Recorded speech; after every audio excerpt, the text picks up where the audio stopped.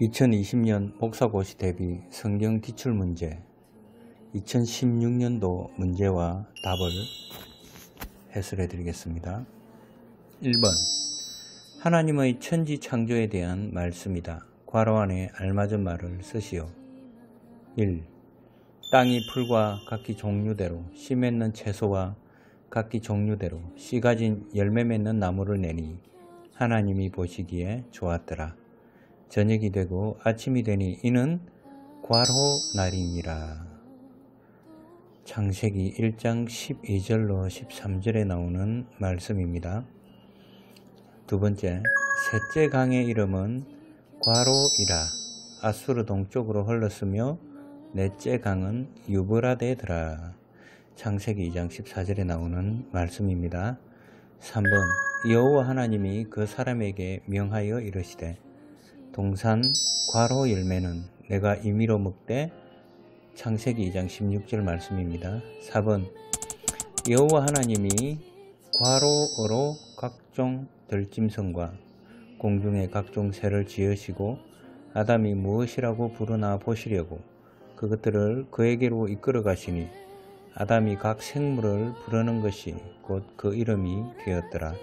창세기 2장 19절입니다.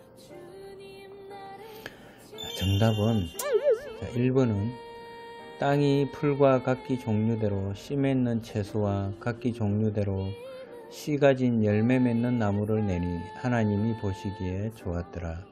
저녁이 되고 아침이 되니 이는 셋째 날이니라. 창세기 1장 12절로 13절에 나오는 말씀입니다. 2번은 셋째 강의 이름은 히떼겔이라. 아수르 동쪽으로 흘렀으며 넷째 강은 유브라데더라. 3번은 여호와 하나님이 그 사람에게 명하여 이르시되 동산 각종 나무의 열매는 내가 임의로 먹되 4번입니다.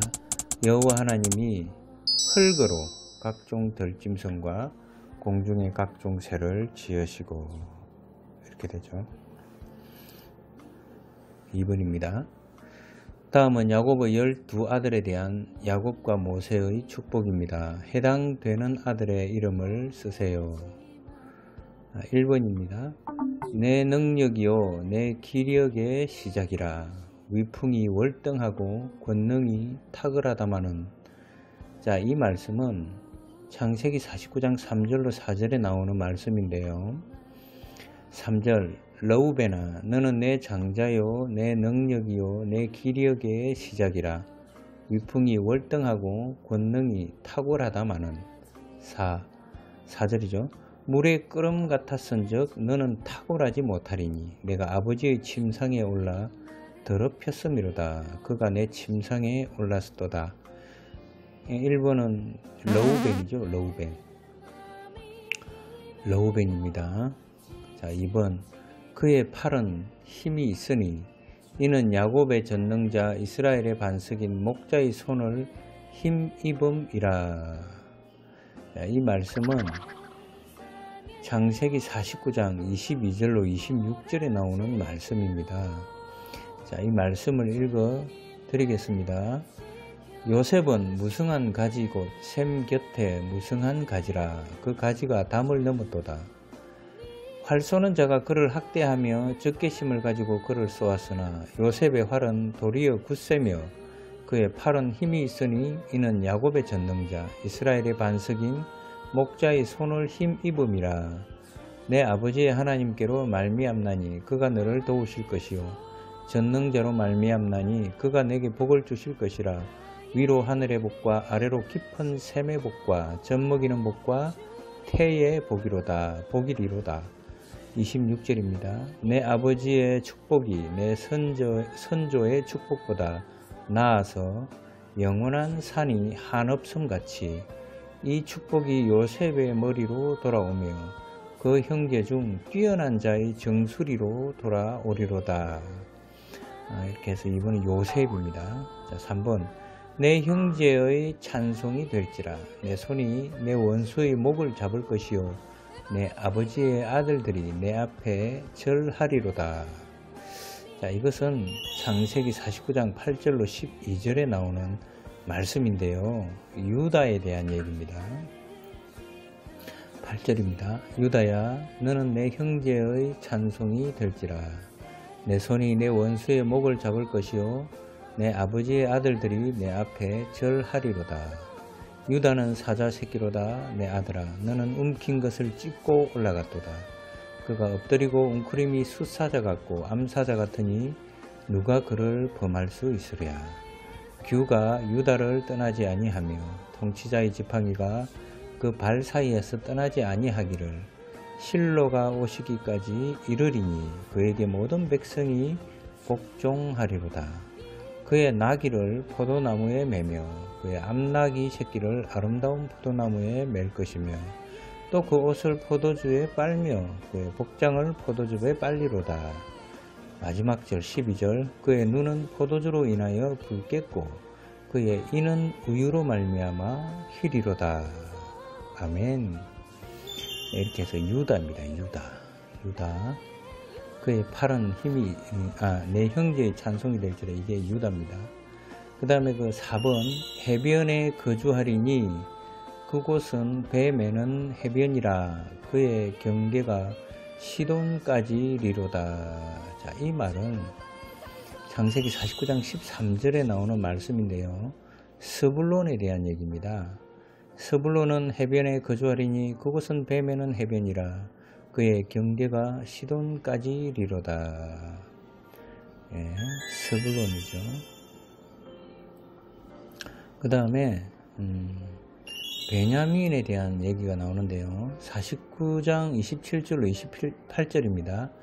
27절 베냐민은 물어 뜯는 일이라 아침에는 빼앗은 것을 먹고 저녁에는 움킨 것을 나누리로다.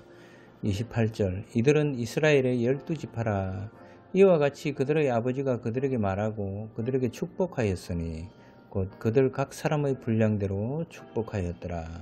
그리고 아셀이 나오는데요. 49장 20절에 나옵니다. 아셀에게서 나는 먹을 것은 기름진 것이라 그가 왕의 수라상을 차리리로다. 예, 이렇게 해서 음, 야곱의 열두 아들에 대한 야곱과 모세의 축복인데요. 어, 아셀에 대한 얘기까지 나왔습니다. 3번입니다. 레위기의 5대 제사를 쓰시오. 레위기의 5대 제사는 번제, 소제, 속건제, 속제제, 하목제죠. 외우는 방법은 번소 화제근 이렇게 외우면 됩니다. 번소 화제근 번제, 소, 소제, 화, 화목제, 죄, 속죄제, 근, 속근제, 레위기의 5대 제사입니다. 4번 다음 중 관계 있는 것을 찾아 연결하시오. 1번 예후 리을, 2번 스마야 디귿, 3번 미가야 니은, 4번 아히야 기역. 어, 예를 이제 기역부터 기역부터 리을까지 말씀드리겠습니다. 기역 여로보암에게 자기가 입은 새 옷을 잡아 열두 조각으로 찢고 열 조각을 가지라고 말함. 니언 아합이 길르앗 라못 전투에서 전사할 것을 예언함. 디귿 르호보암이 유다 온 족속과 베냐민 지파를 모아 이스라엘 족속과 싸우려고 할 때 싸우지 말라는 하나님의 말씀을 전함. 리을 여호사밧이 길르앗 라못 전투에서 돌아왔을 때 악한 자를 도왔다고 책망함. 에... 자, 예후. 어... 자, 보겠습니다. 어... 기역은 여로보암에게 자기가 입은 새 옷을 잡아 열두 조각으로 찢고 열 조각을 가지라고 말한다 라고 되어 있죠. 자 이거, 이것은 어, 아히야 선지자에 대한 얘기입니다. 열왕기상 11장 28절로 30절에 나오는 말씀인데요. 이 사람 여로보암은 큰 용사라 솔로몬이 이 청년의 부지런함을 보고 세워 요셉 족속의 일을 감독하게 하였더니 그 즈음에 여로보암이 예루살렘에서 나갈 때에 실로 사람 선지자 아히야가 길에서 그를 만나니 아히야가 새 의복을 입었고 그 두 사람만 덜에 있었더라. 아히야가 자기가 입은 새 옷을 잡아 열두 조각으로 찢고 열 조각을 가지라고 말했다는 이, 게 기억인데요. 이게 아히야입니다. 아히야. 아히야 기억 맞죠? 4번은 맞는 겁니다. 자, 그 다음에 그 다음에 음, 자 음, 아합이 길르앗 라못 전투에서 전사할 것을 예언함이라고 되어 있죠. 자, 이것은 열왕기상 22장 17절로 20절에 나오는 말씀인데요. 그가 이르되 내가 보니 온 이스라엘이 목자 없는 양같이 산에 흩어졌는데 여호와의 말씀이 이 무리에게 주인이 없으니 각각 평안히 자기의 집으로 돌아갈 것이니라 하셨나이다. 이스라엘의 왕이 여호사밧 왕에게 이르되 저 사람이 내게 대하여 길한 것을 예언하지 아니하고 흉한 것을 예언하겠다고 당신에게 말씀하지 아니하였나이까 미가야가 이르되 그런즉 왕은 여호와의 말씀을 들으소서 내가 보니 여호와께서 그의 보좌에 앉으셨고 하늘의 망군이 그의 좌우편에 모시고 서 있는데 여호와께서 말씀하시기를 누가 아합을 꿰어 그를 길르앗 라못에 올라가서 죽게 할고 하시니 하나는 이렇게 하겠다 하고 또 하나는 저렇게 하겠다 하였는데 자 미가야 미가야죠 미가야 아합이 길르앗 라못 전투에서 전사할 것을 예언한 사람은 누구? 미가야입니다. 미가야. 자, 다음은 르호보암이 유다 온 족속과 베냐민 지파를 모아 이스라엘 족속과 싸우려고 할 때 싸우지 말라는 하나님의 말씀을 전했다.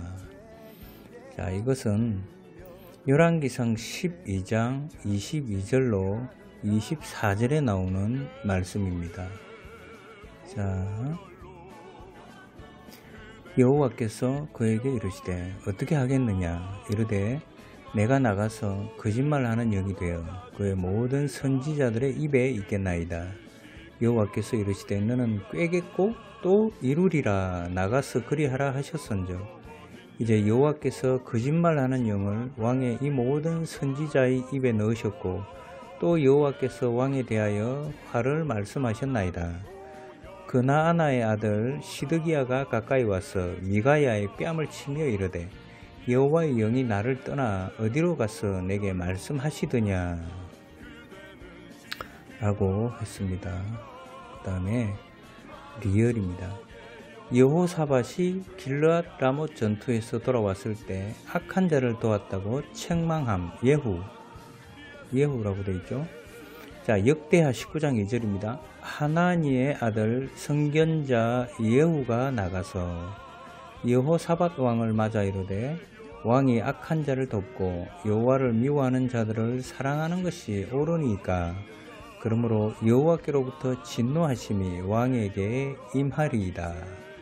예후가 예후가 여호사밧이 길라 라못 전투에서 돌아왔을 때 악한 자를 도왔다고 책망한 사람은 하나니의 아들 성견자 예후입니다.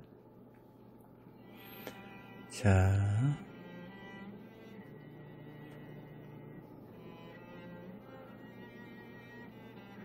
여로보암에게 자기가 입은 새 옷을 잡아 열두 조각으로 찌, 찌, 찢고 열 조각 가지라고 말한 사람은 누구? 아히야, 아히야입니다.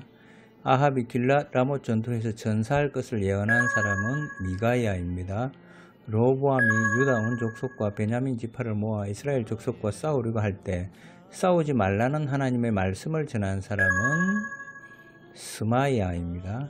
여호사바시 길라 라못 전투에서 돌아왔을 때 악한 자를 도왔다고 책망한 사람은 예후입니다. 자, 5번 문제입니다. 성전에 올라가는 노래라는 제목이 붙은 시편은 몇 편입니까? 1번 시편 120편과 부터 134편 아 부터가 아니죠 2번 시편 121편 135편 3번 시편 121편 134편 4번 시편 120편 135편 정답은 1번입니다. 120편, 134편입니다. 성전에 올라가는 노래. 어, 10편 120편을 읽어 드릴게요. 내가 환란 중에 여호와께 부르짖었더니 내게 응답하셨도다. 여호와여 거짓된 입술과 속이는 혀에서 내 생명을 건져 주소서. 너 속이는 혀여 무엇을 내게 주며 무엇을 내게 더할꼬. 장사의 날카로운 화살과 로뎀나무 숯불 이로다 이리로다. 매색에 머물며 계달의 장막 중에 머무는 것이 내게 화로다. 내가 화평을 미워하는 자들과 함께 오래 거주하였도다. 나는 화평을 원할지라도 내가 말할 때에 그들은 싸우려 하는도다. 시편 134편입니다. 보라 밤에 여호와의 성전에 서 있는 여호와의 모든 종들아 여호와를 송축하라. 성소를 향하여 너희 손을 들고 여호와를 송축하라. 천지를 지으신 여호와께서 시온에서 내게 복을 주실지어다. 자, 이렇게 해서 성전에 올라가는 시편은 120편, 134편입니다. 6번 문제. 예수님께서 제자들에게 가르쳐 주신 기도가 나타나는 곳은 어디입니까? 1번 마태복음 6장, 누가복음 11장입니다. 마태복음 6장, 누가복음 11장입니다. 마태복음 6장 5절로 15절 말씀입니다. 또 너희는 기도할 때에 외식하는 자와 같이 하지 말라. 그들은 사람에게 보이려고 회당과 큰 거리 어귀에 서서 기도하기를 좋아하느니라. 내가 진실로 너희에게 이르노니 그들은 자기 상을 이미 받았느니라. 너는 기도할 때에 내 골방에 들어가 문을 닫고 엄밀한 중에 계신 내 아버지께 기도하라. 엄밀한 중에 보시는 내 아버지께서 갚으시리라. 또 기도할 때에 이방인과 같이 중언부언하지 말라. 그들은 말을 많이 하여야 들으실 줄 생각하느니라.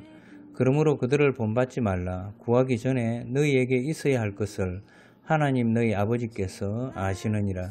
그러므로 너희는 이렇게 기도하라.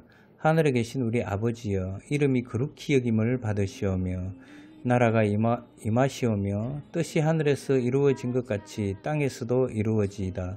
오늘 우리에게 일용할 양식을 주시옵고 우리가 우리에게 죄 지은 자를 사하여 준 것 같이 우리 죄를 사하여 주시옵고 우리를 시험에 들게 하지 마시옵고 다만 악에서 구하시옵소서 나라와 권세와 영광이 아버지께 영원히 있사옵나이다. 아멘 너희가 사람의 잘못을 용서하면 너희 하늘 아버지께서도 너희 잘못을 용서하시려니와 너희가 사람의 잘못을 용서하지 아니하면 너희 아버지께서도 너희 잘못을 용서하지 아니하시리라. 다음은 누가복음 11장 1절로 13절입니다. 예수께서 한 곳에서 기도하시고 마치심에 제자 중 하나가 여짜오되 주여 요한이 자기 제자들에게 기도를 가르친 것과 같이 우리에게도 가르쳐 주옵소서. 예수께서 이르시되 너희는 기도할 때에 이렇게 하라. 아버지여 이름이 거룩히 여김을 받으시오며 나라가 임하시오며 우리에게 날마다 일용할 양식을 주시옵고 우리가 우리에게 죄 지은 모든 사람을 용서하오니 우리 죄도 사하여 주시옵고 우리를 시험에 들게 하지 마시옵소서, 마시옵소서 하라. 또 이르시되 너희 중에 누가 벗이 있는데 밤중에 그에게 가서 말하기를 벗이여 떡 세 덩이를 내게 구워달라. 내 벗이 여행 중에 내게 왔으나 내가 먹일 것이 없노라 하면 그가 안에서 대답하여 이르되 나를 괴롭게 하지 말라. 문이 이미 닫혔고 아이들이 나와 함께 침실에 누웠으니 일어나 내게 줄 수가 없노라 하겠느냐. 내가 너희에게 말하노니 비록 벗됨으로 인하여서는 일어나서 주지 아니할지라도 그 간청함을 인하여 일어나 그 요구대로 주리라. 내가 또 너희에게 이르노니 구하라 그리하면 너희에게 주실 것이요 찾으라 그러면 찾아낼 것이요 문을 두드리라. 그러면 너희에게 열릴 것이니 구하는 이마다 받을 것이요 찾는 이는 찾아낼 것이요 두드리는 이에게는 열릴 것이니라. 너희 중에 아버지 된 자로서 누가 아들이 생선을 달라 하는데 생선 대신에 뱀을 주며 알을 달라 하는데 정가를 주겠느냐? 너희가 악할지라도 좋은 것을 자식에게 줄줄 알거든. 하물며 너희 하늘 아버지께서 구하는 자에게 성령을 주시지 않겠느냐 하시니라. 아멘. 자, 이렇게 해서 예수님께서 제자들에게 가르쳐 주신 기도가 나타나는 것은 마태복음 6장과 누가복음 11장입니다. 7번 문제 안디옥 교회의 교사나 선지자가 아닌 사람은 누굽니까? 1번 바나바, 2번 사울, 3번 루기오, 4번 부로고로, 4번입니다. 부로고로입니다. 이 말씀은 사도행전 13장 1절에 나오는 말씀입니다. 안디옥 교회에 선지자들과 교사들이 있으니 곧 바나바와 니게르라 하는 시므온과 구레네 사람 루기오와 분봉왕 헤롯의 젖동생 마나엔과 및 사울이라 이렇게 되어 있죠. 그래서 어, 안디옥 교회의 선지자들과 교사들은 바나바 어, 니게르라는 시므온 구레네 사람 루기오 분봉왕 헤롯의 젖동생 마나엔 사울 이렇습니다. 바나바 시므온 루기오 마나엔 사울 이 브로고로라는 사람은 사도행전 6장 1절로 7절에 나오는 어, 사람인데요. 어, 읽어드리겠습니다. 사도행전 6장 1절로 7절입니다.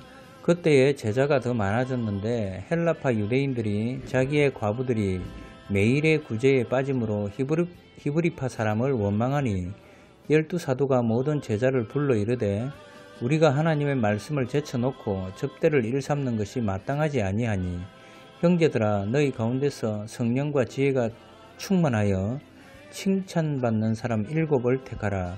우리가 이 일을 그들에게 맡기고 우리는 오로지 기도하는 일과 말씀 사역에 힘쓰리라 하니 온 무리가 이 말을 기뻐하여 믿음과 성령이 충만한 사람 스테반과 또 빌립과 부로고로와 니가노로와 디몬과 바메나와 유대교에 입교했던 안디옥 사람 니골라를 택하여 사도들 앞에 세우니 사도들이 기도하고 그들에게 안수하니라 하나님의 말씀이 점점 왕성하여 예루살렘에 있는 제자의 수가 더 심히 많아지고 허다한 제사장의 무리도 이 도에 복종하니라. 이렇게 해서 안디옥 교회 교사나 선지자는 바나바 사울 루기오입니다. 보로그로는 집사입니다. 일곱 집사. 자, 8번 관계 있는 것끼리 줄을 거시오. 자, 한나, 마리아, 시몬, 사가랴 이렇게 나오죠. 자, 기억 그의 여종의 비천함을 돌보셨음이라 보라 이제 후로는 만세의 날을 복이 있다 일컬으리로다 자 이건 아, 누구의 얘기일까요? 예, 누가복음 1장 46절 55절에 나오는 마리아의 창가에 나오는 예, 말씀입니다. 예, 46절 55절입니다. 누가복음.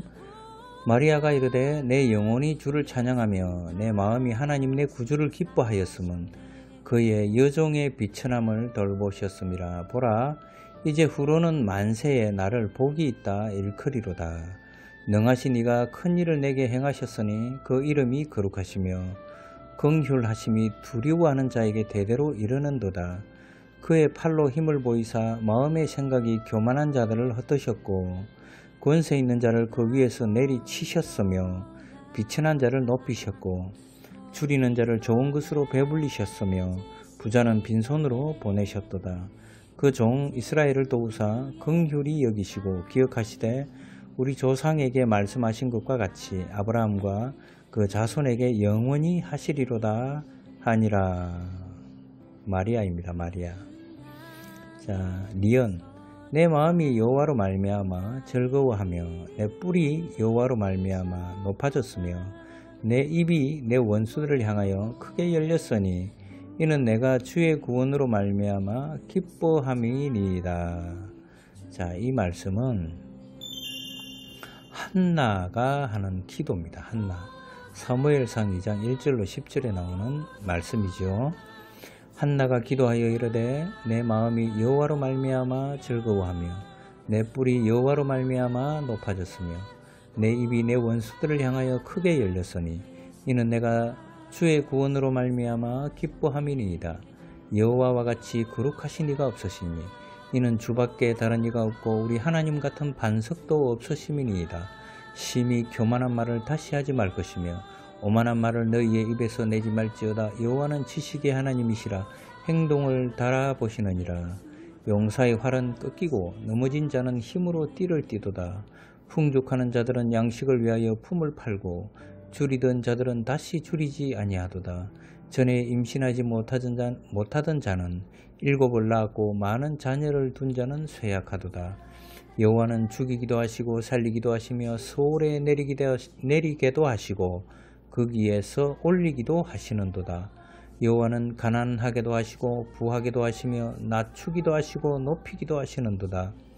가난한 자를 진토에서 일으키시며 빈궁한 자를 그름더미에서 올리사 귀족들과 함께 앉게 하시며 영광의 자리를 차지하게 하시는도다. 땅의 기둥들은 여호와의 것이라 여호와께서 세계를 그것들 위에 세우셨도다. 그가 그의 거룩한 자들의 발을 지키실 것이요 악인들을 흑암 중에서 잠잠하게 하시리니 힘으로는 이길 사람이 없음이로다. 여호와를 대적하는 자는 산산이 깨어질 것이라 하늘에서 우레로 그들을 치시리로다. 여호와께서 땅 끝까지 심판을 내리시고 자기 왕에게 힘을 주시며 자기의 기름 부음을 받은 자의 뿔을 높이시리로다 하니라.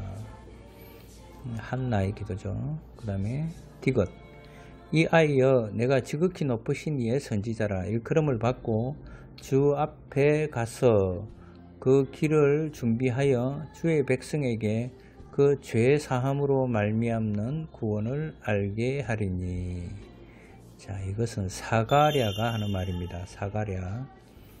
자 사가랴의 예언입니다. 누가복음 1장 67절로 80절에 나오는 말씀이죠 그 부친 사가랴가 성령의 충만함을 받아 예언하여 이르되 찬송하리로다 주 이스라엘의 하나님이여.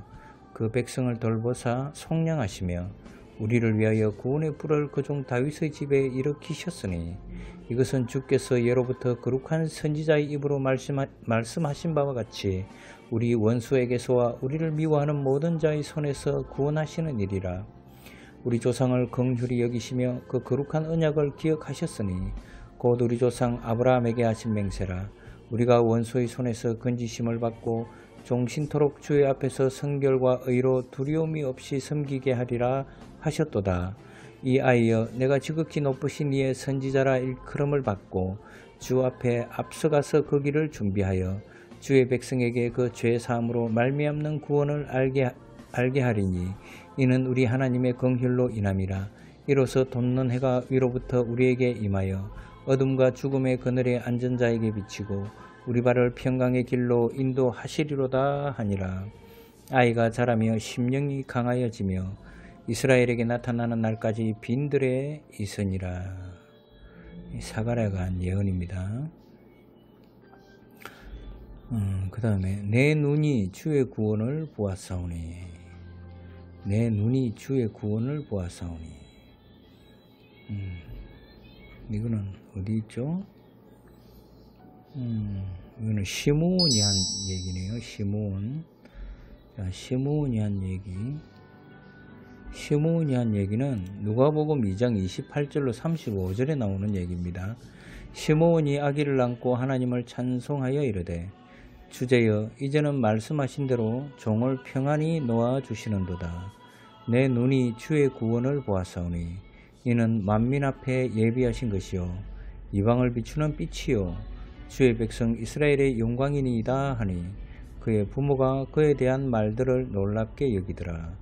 시몬이 그들에게 축복하고 그의 어머니 마리아에게 말하여 이르되 보라 이는 이스라엘 중 많은 사람을 패하거나 흥하게 하며 비방을 받는 표적이 되기 위하여 세움을 받았고 또 칼이 내 마음을 찌르듯 하리니 이는 여러 사람의 마음의 생각을 드러내려 함이니라 하더라.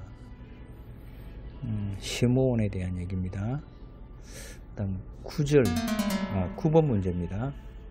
요한계시록에서 내가 죽도록 충성하라 그러면 내가 생명의 관을 내게 주리라는 말씀은 어느 교회에게 주신 말씀입니까?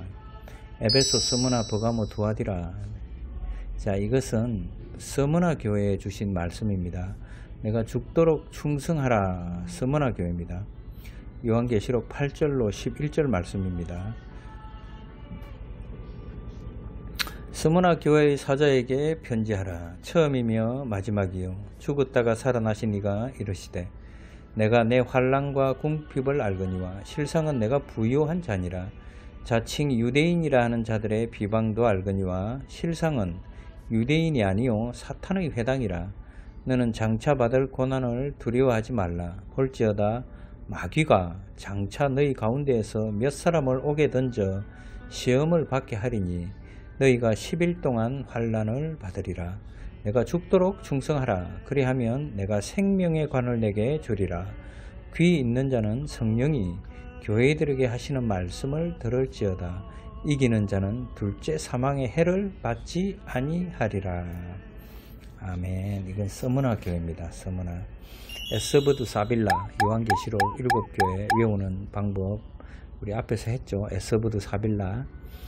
자 칭찬받은 교회는 칭사빌 칭사빌이죠. 칭찬받은 교회. 사대 교회 빌라델비아 교회. 책망받은 교회는요 책사라예죠 책사라. 책사라. 아 저기 칭 칭서빌이죠 칭서빌. 칭점 서머나 교회하고 그 빌라델비아 교회죠. 책망받은 교회는 책사라. 사대 교회하고 라오디게아 교회입니다 예예. 예. 그렇게 됐죠. 칭 칭사빌이 아니고 칭서빌입니다. 칭서빌 서문화 교회. 칭찬받은 교회 서문화 교회. 서문화 교회입니다. 자 그 다음에 10번 문제입니다. 다음 성경은 1장부터 몇 장까지 있는지 쓰시오 창세기는요 50장 1533절이 있습니다. 민수기는요 36장 1288절이고요. 마가복음은 16장 678절 로마서는 16장 433절 요한계시록은 22장 404절까지 있습니다. 창세기는 50장 민수기는 36장 마가복음 16장 로마서 16장 요한계시록 22장. 이런 문제가 왜 필요할까요? 성경 많이 읽으란 얘기죠.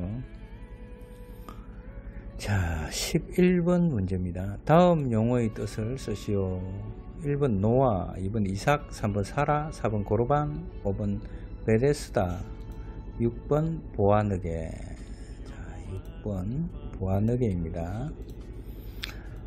1번 아, 노아입니다.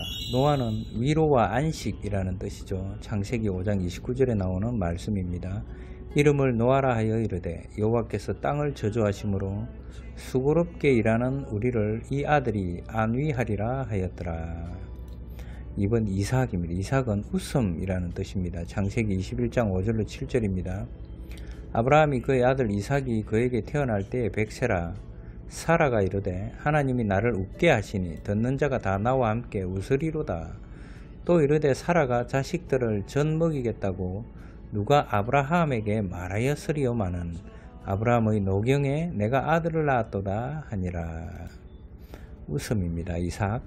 그 다음에 사라. 사라라는 말은 열국의 어머니라는 뜻이죠. 창세기 17장 15절로 16절에 나오는 말씀입니다. 하나님이 또 아브라함에게 이르시되 내 아내 사레는 이름을 사레라 하지 말고 사라라 하라. 내가 그에게 복을 주어 그가 내게 아들을 낳아주게 하며 내가 그에게 복을 주어 그를 여러 민족의 어머니가 되게 하리니 민족의 여러 왕이 그에게서 나리라. 네 번째 고르반입니다. 고르반은 하나님께 드림이 되었다라는 뜻으로서 마가복음 7장 11절에 나오는 말씀입니다. 너희는 이르되 사람이 아버지에게나 어머니에게나 말하기를 내가 드려 유익하게 할 것이 고르반 곧 하나님께 드림이 되었다고 하기만 하면 그만이라 하고 예, 효도하지 않고 음, 하나님께 드리기만 하면 된다. 이렇게 하면 안 된다는 거죠. 그게 고르반입니다.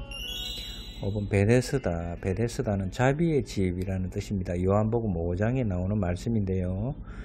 어, 2절로 4절까지 읽어드리겠습니다. 예루살렘에 있는 양문 곁에 히브리 말로 베데스다라 하는 못이 있는데 거기 행각 다섯이 있고 그 안에 많은 병자, 맹인, 다리 저는 사람, 혈기 마른 사람들이 누워 물의 움직임을 기다리니 이는 천사가 가끔 못에 내려와 물을 움직이게 하는데 움직인 후에 먼저 들어가는 자는 어떤 병에 걸렸든지 낫게 되미르라.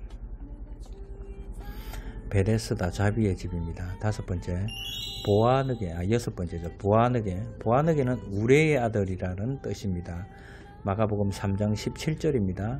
또 세베대의 아들 야고보와 야고보의 형제 요한이니 이 둘에게는 보아느게 곧 우레의 아들이란 이름을 더하셨으며 예, 세베대의 아들 야고보하고 야고보의 형제 요한이 바로 보아느게입니다. 우레의 아들 우레의 아들 그 다음에 12번 문제 신약 성경 27권을 차례대로 정확히 쓰시오 이거는 성경 목록과 우리 노래 아시죠? 신약 성경 그걸 그대로 노래하면서 외우면 되겠습니다.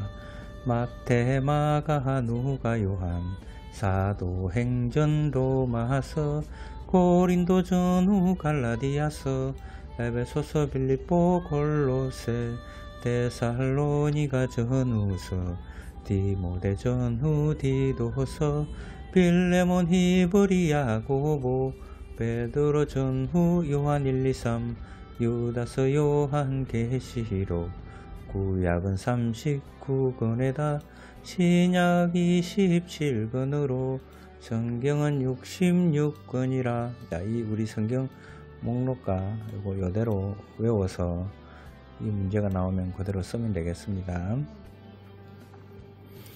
자, 13번 성경 암송 구절이죠.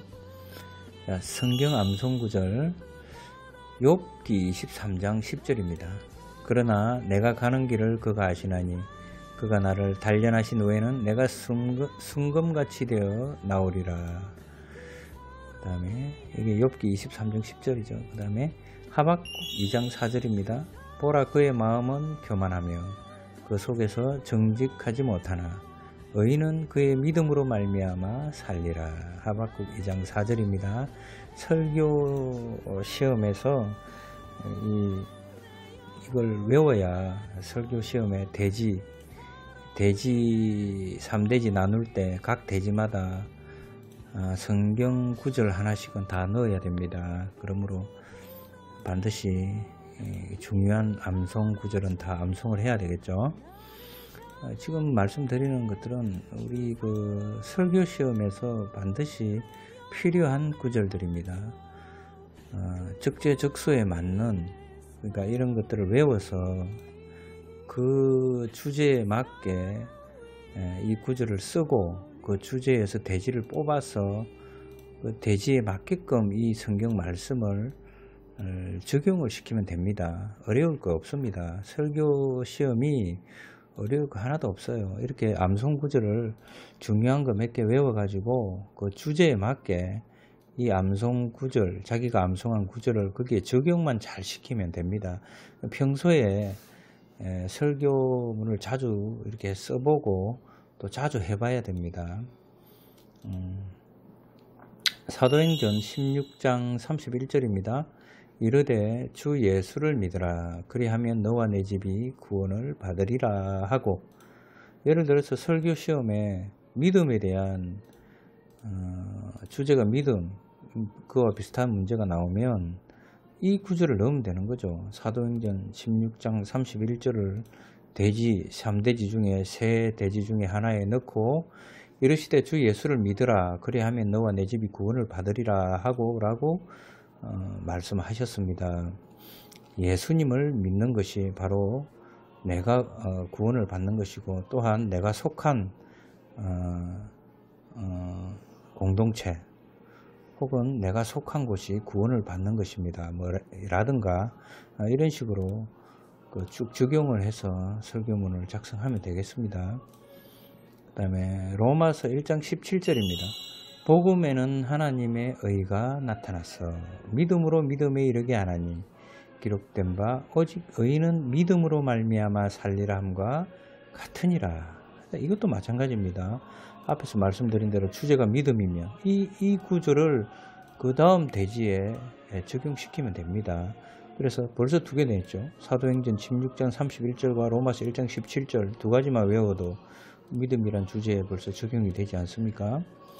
로마서 1장 17절입니다. 복음에는 하나님의 의가 나타나서 믿음으로 믿음에 이르게 하나니 기록된 바 오직 의는 믿음으로 말미암아 살리람과 같으니라. 어, 그래서 이제 설교 주제에 이렇게 나오면 믿음이 무엇입니까? 믿음이란 하나님의 의가 나타나야 됩니다. 이런 식으로 하나님의 의가 없는 믿음은 믿음이 아닙니다. 이런 식으로 또 쓰면 되겠죠. 그래서 하나님의 의가 나타난 믿음은 믿음을 가진 자가 오직 의인일 수 있습니다. 그래서 그 의인은 믿음으로 살게 되는 것이죠. 이렇게 설교문을 맞춰 나가면 되겠습니다. 그 다음에 요한계시록 22장 21절입니다. 주 예수의 은혜가 모든 자들에게 있을지어다. 아멘. 주 예수의 은혜가 모든 자들에게 있을지어다. 아멘. 요한계시록 22장 21절입니다. 이게 마지막 절이죠. 우리 성경의 신약 성경의 마지막 구절입니다. 요한계시록 22장 21절. 주 예수의 은혜가 모든 자들에게 있을지어다. 아멘. 자, 이렇게 해서 어, 2016년도 성경 목사고시 2020년 목사고시 대비 에, 2016년도 문제와 답을 다 풀어봤습니다. 여러분 초시 합격하십시오. 구독, 좋아요 눌러주시고요. 감사합니다. 다음 시간에 또 뵙겠습니다.